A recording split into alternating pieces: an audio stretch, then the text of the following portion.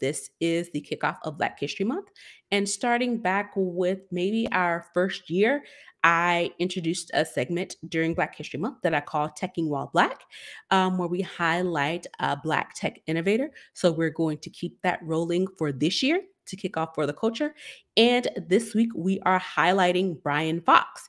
He is the original author and creator of Bash Shell.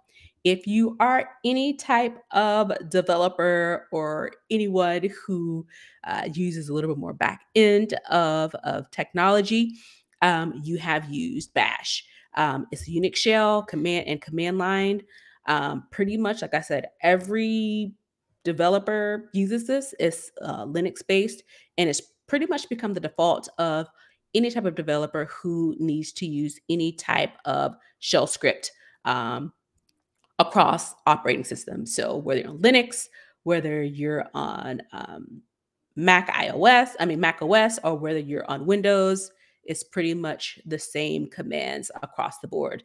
And Mr. Brian Fox was the creator of that.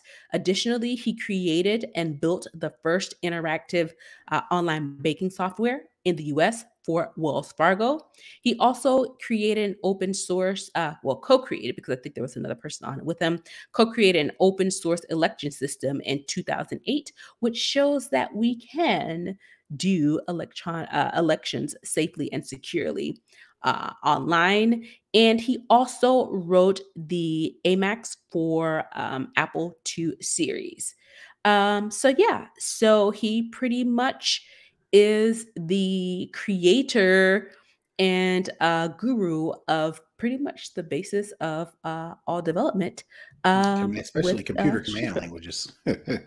definitely, definitely. Um, I don't think he's maintained it since um, what maybe the 90s, um, but um, you know it's open source, so um, so meaning anybody can contribute to it. Right. Uh, but yeah he is the creator of it um, and so if you're any type of developer software engineer whether it be professionally whether it be for a hobby you have mr brian fox to thank for that